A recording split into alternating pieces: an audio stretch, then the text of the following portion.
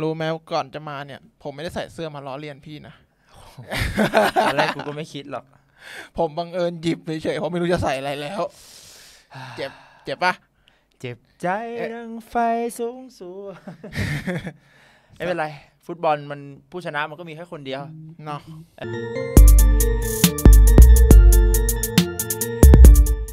เออนะคครัรับบผม อะ ประมาณนี้ครับ วันนี้ลาไปก่อน สวัสดีครับ เร็วเร็ว เดี๋ยวก่อน เดี๋ยวก่อน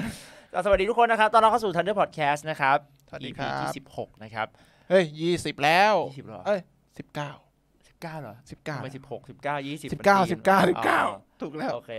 ก่อนอื่นเลยเอ่อในคลิปที่แล้วเนี่ยต้องขอบคุณเขาเรียกว่าคนที่ติดตามกันนะครับโอ้โหผมว่าค่อนข้างแบบว่าตาสว่างเหมือนกันนะ เพราะว่าตอนแรกคือเขาเรียกว่าไม่ไม่รู้ว่ามีคนติดตาม อย่างแท้จริงไอเราก็ก้มหน้าก้มตาทำแบบไม่ได้รู้อะไรอย่างเงี้ยก็เลยอ่าไม่ค่อยได้สื่อสารกับ คนดูเท่าไหร่ ขอบคุณหลายๆคนนะที่ดูเชื่อว่าหลายๆคนดู Thunder Podcast มาแบบทุกคลิปโดยที่แบบไม่ได้รู้ตัว ครับ วันนี้ถือว่าเราก็เป็นหนึ่งในในคอนเทนต์ของบุรีรัมย์แล้วกันทุกวันนี้ก็หายากเหมือนกันนะ โอ้โหน้อยพี่ส่วนใหญ่นะที่ผมเจอ เออ จะเป็นแบบเล่าข่าวซะส่วนใหญ่แบบอ่าพูดคุยอะไรแบบเนี้ยตามแฟนบอลมันอ่า ไม่ค่อยมีนะ ใช่ก็น้อยเอาเป็นว่าอ่าถ้าให้พูดอีกรอบนึงก็เอาเป็นว่า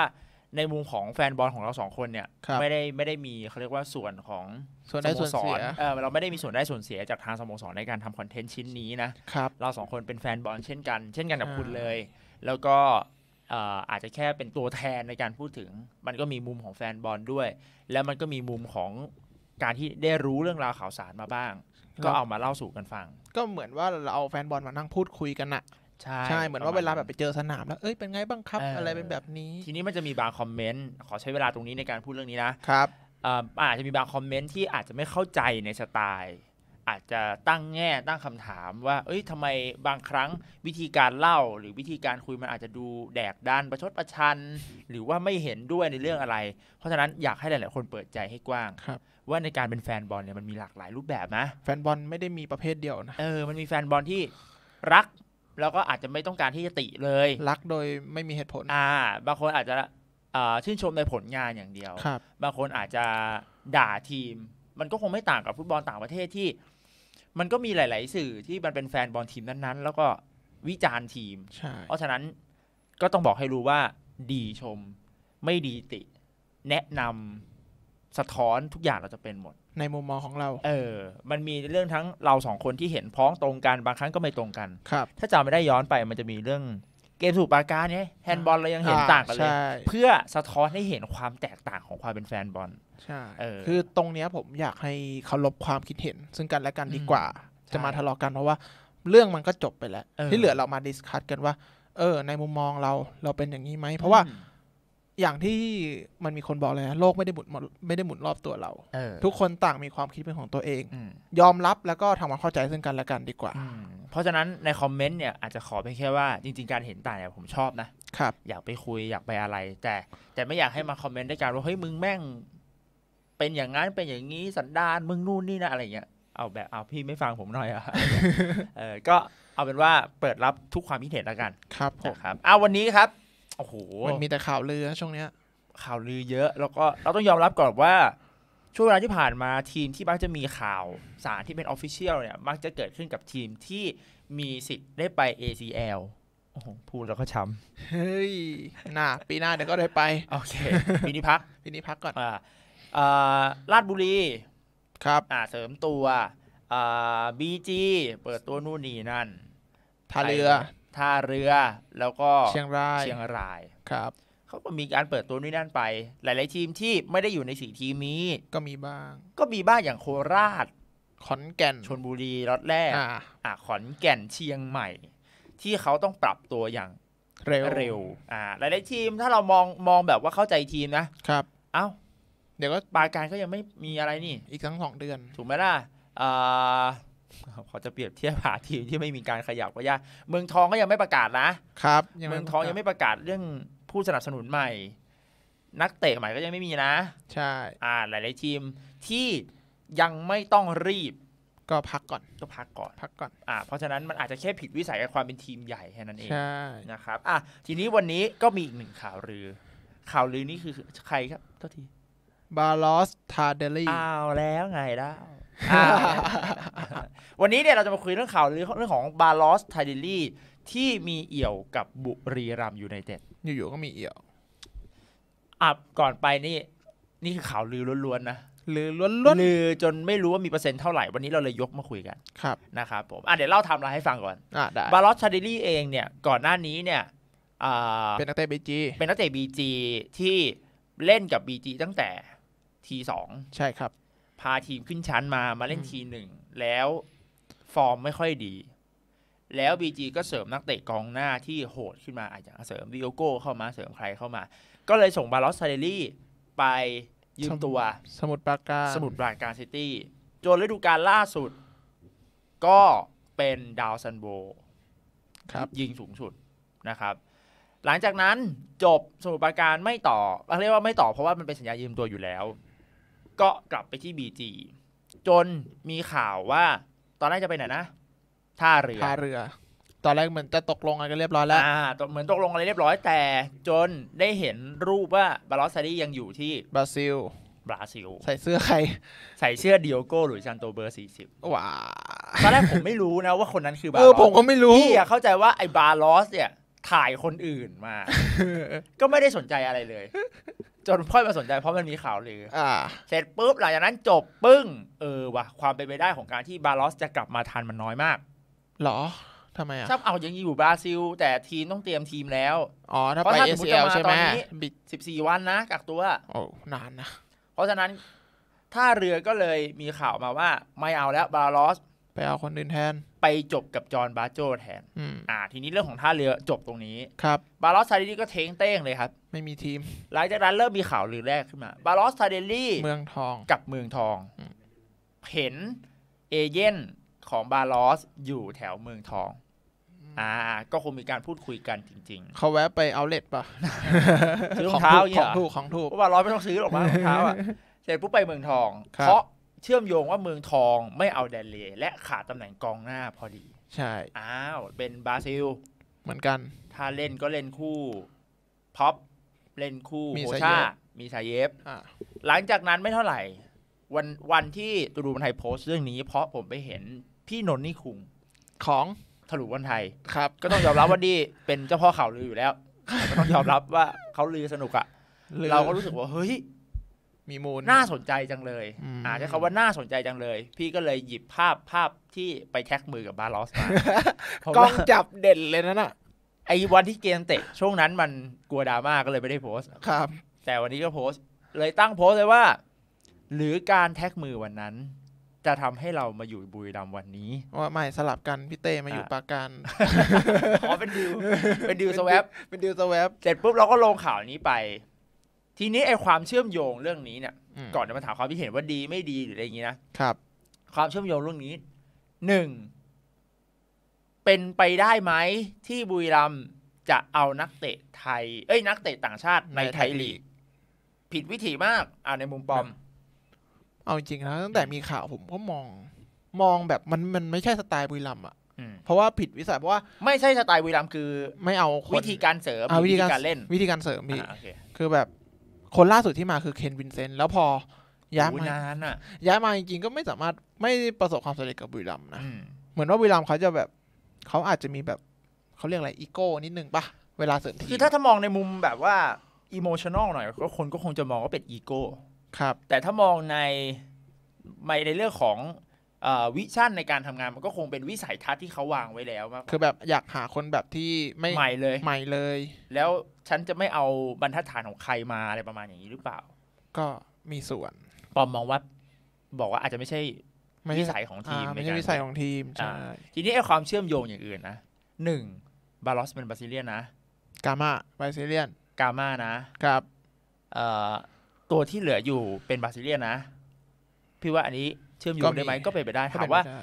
บาลอสเองกับกามาเอง ตลอดเวลาที่ผ่านมามีการพูดคุยกันไหมพี่ว่ามันเป็นการพูดคุยของเพื่อนคนสังคม Brazilian ที่เออออยู่ในไทยลีกใช่ เราก็เห็นนักเตะบราซิลไทยลีกก็ไปกินข้าวด้วยกันทั้งเออทีมอะไรแบบนี้หลังจากที่เวลาช่วงหลังๆเวลาพี่ไปดูปราการบ่อยๆอะฮะมาเมกะ จะเจอเนี่ยบาร์รอส ทาร์เดลลี่กับ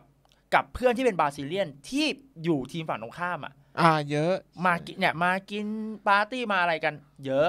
เยอะเยอะเยอะพี่ก็รู้สึกว่าอาจจะถามว่าหนึ่งความเป็นไปได้เรื่องนี้อาจจะมีครับ เรื่องที่สองคนไปไปดึงเรื่องของว่าใส่เสื้อดิโอโก้เนี่ย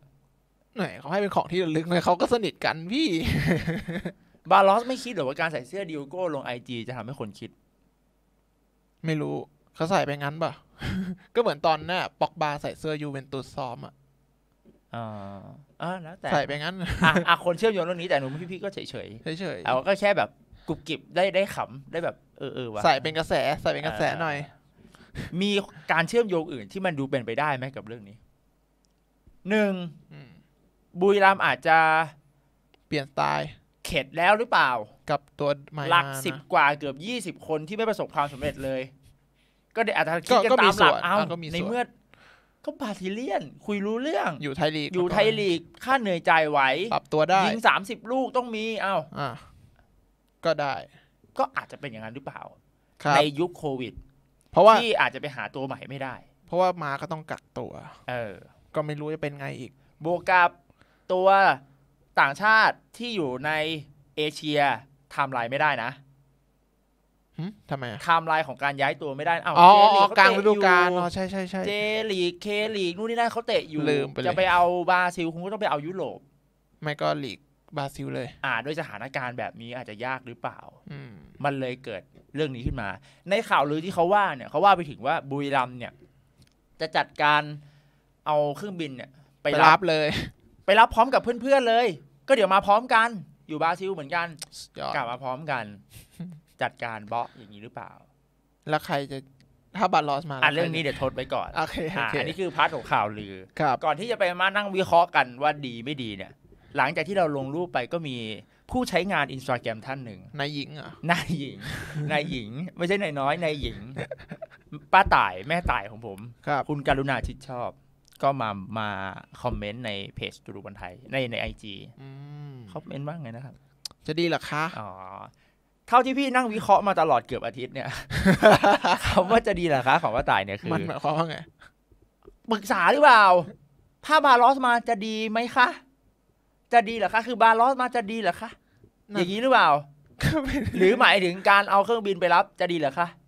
ผมว่าเอาเครื่องบินไปรับจะดีเหรอคะไม่ไม่พี่ว่าเขาปรึกษาป้าต่ายอาจจะแบบเปิดใจว่าเต้ว่าเอาบาลอสมาจะดีไหมเหรอคะอ๋ออ่าแล้วทำไมไม่พิมพ์ให้หมดอะ มึงอย่ามาตั้งคำถามเยอะดิ กูแก้ไม่ทัน เสร็จปุ๊บ พี่ก็เลยตอบไปว่า ดีหมดครับ บอกว่าอะไรที่ดีอะไรที่แบบว่า เป็นอะไรแบบสร้างความกระชุ่มกระชวยหัวใจให้แฟนบอลดีหมดครับารอติดตามนะครับ ครับป้าต่ายก็ตอบมาสั้นฮ่าฮ่าฮ่าฮ่าๆสามตัวสามตัว น่าจะเป็นหวยงวดหน้า เรื่องราวทั้งหมดก็ประมาณนี้กับ มาคุยในมุมมองเราอืมความเป็นไปได้ในมุมปอม ผมยังมองว่ามันเป็นไปไม่ได้ ศูนย์เลยเหรอ ไม่ถึงกระสูนผมว่าต่ำกว่าห้าสิบเปอร์เซ็นต์นะในความคิดโอเคส่วนอะตัว เพราะว่า มันยังไงมันผิดวิสัยอะอ่ามันผิดวิสัยการทำทีอ่องมทูอะไม่ผิดวิสัยเหรอเออเนาะปิยพลผ่านนิชกุลไม่ผิดวิสัยเหรหรืออเขาเปลี่ยนสไตล์แล้ววะเราเคยพูดเรื่องผิดวิสัยตั้งแต่ซีซั่นที่แล้วแล้วนะปิยพลธิอ่อนงกรทูทินากร หรือเขาเขาเขาเจ็บเขาเจ็บมาเยอะแล้วป่ะ ไม่อย่างที่รู้บอกะไม่รู้ว่ะ อ่าแต่ในมุมปอมมองว่า มองว่าไม่เวิร์กไม่ใช่ไม่เวิร์กมันอาจจะแบบ มันมันเป็นไปได้ยากอะอืมผมมีความรู้สึกแบบ หรือว่าผมยังยึดติดกับแบบบุรีรัมเดิย์มๆต้องอิมพอร์ตมาหรือเปล่าอืมประมาณเอานี้แต่เราก็เคยเป็นส่วนหนึ่งของการพูดเรื่องนี้ว่า จะ import ทำไมทำไมไม่เอาตัวที่ชัวร์อืมๆเราก็เคยตั้งคำถามเรื่องนี้ แต่พอจะเกิดขึ้นจริงเราไม่ชิน ใช่ มันไม่ชิน อาจจะเป็นเพราะความความที่ผมไม่ชินด้วยแหละ อ่าในมุมพี่พี่ พี่ให้พอๆกัน พี่ว่ามันยังห้าสิบห้าสิบอืมในมุมพี่พี่ว่าเกิดการสนใจ อาจจะเกิดการสนใจเกิดการคุยเกิดการถาม ถึงเฮ้ยบาร์รอสเท่าไหร่วะลองไปถามมาสิอืมค่าเหนื่อยเท่าไหร่ครับ เพราะว่าเราไม่รู้ว่าบาร์รอสกับบีจีสัญญาเหลือเท่าไหร่ อันนี้เราก็ไม่แน่ใจนะครับ อาจจะแบบมีการถามไทยจริง ๆ เกิดขึ้นเพราะโถระดับดาวซัลโวอะ ต้องมาตั้งคำถามอะไรถูกไหมล่ะ ใช่ เออเอ้ยแป๊บนึง เสียงมันกล้องว่ะ เว็บฝากปิดประตูโอเคอะต่อ เออนั่นแหละมันอาจพี่ว่าข้อหนึ่งมันคือตัวเลขที่มันชัดเจนว่าเขาเป็นดาวซัลโวมีผลงานชัดเจน มีผลงานชัดเจน แล้วก็ด้วยด้วยด้วยสถานการณ์คือถ้าสมมติว่าช่วงนี้มันไม่ใช่โควิด ก็อาจจะ import มาแล้ว พี่ก็มันก็อาจจะเกิดขึ้นคุยจริงอืมพี่ให้ห้าสิบห้าสิบเออผมก็ประมาณนั้นแหละสิบห้าสิบเหมือนกัน พี่พี่สำหรับพี่นะห้าสิบห้าสิบครับอะคนอื่นรู้สึกไงอันนี้ไม่รู้อืมทีนี้สมมุติมันเกิดขึ้นจริงนะครับ คุณกระปอม สมมุติ if สมมุติ สมมุติ สมมุติ สมมุติ สมมุติ สมมุติบาลอสซาเดลี่ชูเสื้อบุรีรัมย์ยูไนเต็ดโหโคตรเท่บ้าโหทำคลิปเปิดตัวเลยขึ้นเครื่องบินเจ็ตไม่มี เปลี่ยนไม่มีเหรอ ลงจากเครื่องบินพอ เฮ้ยขึ้นเครื่องบินเจ็ตเลย เดี๋ยวสคบเอาไปออก แล้วก็เปลี่ยนเสื้อ Hi am Balos t a d e l i โคตรหล่อ แล้วก็เป็นเบอร์สี่สิบสามสิบเจ็ดเย็ดเด้อ มโนชิบหาย ใครจะต้องไปเอาอันนี้ก่อน ใครจะต้องไปผมอ่าถ้าในความคิดผมนะผมว่าดีเก่านะ ถ้ามาขนาดนี้เพราะว่าอย่างที่เขาใช้หลังไทยมาตลอดเนี่ย ผมก็ว่าก็ก็โอเคอืมมันก็สามารถแบบปรับกันได้ เพราะอย่างเพราะกามามาหลังไทยใช้หลังไทยเสียประตูก็ค่อนข้างยาก หลังไทยในยุคนะกามากับใช้ต่างชาติไม่ต่างกัน ใช่ ถามว่าดี ดีแบบในยุคหนึ่งที่เคยดีได้ไหมอาจจะไม่เท่า แต่ดีพอในการสู้ในไทยลีกได้ ใช่ครับ บวกกับว่าปีเนี้ยที่กำลังจะเริ่มเนี่ยเราไม่ต้องเล่น ACL ก็ไม่ไม่เป็นไร ก็ก็ไม่ได้เดือดร้อนอะไร ใช่แล้วไปปอมจับก็เลยมองว่าโลซาไมคอนไมคอนบาลอสอืมแล้วสุประชัยวาร์ดี้ก็ต้องเช็คสู้นาโช ก็ต้องสู้ แล้วแบงค์เมดิสันหาวีแบงค์เอ้ยเผื่อสามหพี่แบงค์เผื่อสามคนนั้นเขาไปเลสเตอร์ไง อันเนี้ยมึงมโนกว่าเรื่องบาร์รอสทาร์เดลลี่หนักกว่าเรื่องบาร์รอสทาร์เดลลี่อีกก็จริง ๆ ก็ช่วงแบบช่วงก่อนอันเนี้ยไมคอนโรซามันก็สลับเป็นสำรองกันเยอะนะอืมก็อาจจะต้องมีการสู้เพื่อตำแหน่งตัวจริง มีคนตั้งคำถามเรื่องโรซ่ามาว่าอ้าวแล้วโรซ่าล่ะครับ เพราะจริงๆสำหรับพี่บาลอสกับโรซ่าเนี่ยใช่ไม่ต่างกันหรอเขาเรียกว่าตำแหน่งที่ควรจะเล่นมันคือตำแหน่งเดียวกัน ใช่ บาลอสก็ ไม่ค่อยไม่ค่อยได้ริมเส้นได้ดีขนาดนั้นอะส่วนใหญ่ก็เป็นหน้าเป้าเอ่อ tap in จะแบบใช้จังหวะในกรอบเขตโทษอะไรประมาณสนี้ไตรเกอร์เออส striker ไตรเกอร์เพราะฉะนั้นพี่มองว่าจริง ๆ ไอการต่อสัญญา ไม่ได้สำคัญหรอกบาลาซิสก็ต่อสัญญานะ คุณรู้เปล่าก่อนเหรอ ก็เหมือนกับในมุมพี่พี่ว่า คือนักเตะที่มีสัญญากับบุรีรัมย์แล้วปล่อยออกอะมันเยอะโอ้โหบาลานัซิสไม่ท้วนอาบาลาซิสไม่ได้ปล่อยออกโฮโซไกเนี่ยก็สัญญากับบุรีรัมย์นะ ใช่ไหม ใช่เคลิชกะมันเพราะฉะนั้นพี่ว่าเอาสัญญาเป็นตัวตั้งมันอาจจะไม่ใช่ ในสุดท้ายแล้วถ้าเขารู้สึกว่าเขาจะเอาอะ ก็เอาเขาก็เอาใช่ในมุมพี่ถ้าอยากเห็น เอาถ้าอยากเห็นนะ บาลอส ไมคอน ดีเกาดีเก้าเอออ่าสุดท้ายแล้วพี่ว่ายังไงกองหลังก็ยังต้องมีต่างชาติ มันเป็นหรอเรื่องของจิตวิทยาในการต่อสู้ข่มอะข่ม เอากองหลังสมมติมึงเป็นกองหน้าฝั่งตรงข้ามมามึงเจอธีรกรชิติพัฒน์พันษา กับพันษา หรือดีเกาธีรกรนะมันก็มันก็ต่างอ่ากันใช่ไหมหรืล่ะอดีเกาผมเห็นว่าเขามีสัญมันชาก็ติเหมือนลิเวอร์พูลอะกูวิ่งเข้าไปเจอแนทฟิลิปเนทฟิลิปกับไอฟันได้ไอวิลเลียมอะอ่ายืนคู่กันกับปีที่เป็นมาติปฟานไดค์อะอืมมันก็ต่างกัน แต่อืมเหมือนเหมือนว่าดีเกาเขามีสัญชาติเป็นมีสัญชาติเอเชียด้วยอะนะเป็นไปได้ไหม อ่านเรื่องนี้ว่าดีเกา Maybe จะเล่นในตำแหน่งของเอ่อเอ่โคอต้าโควต้าเอเชีเชีย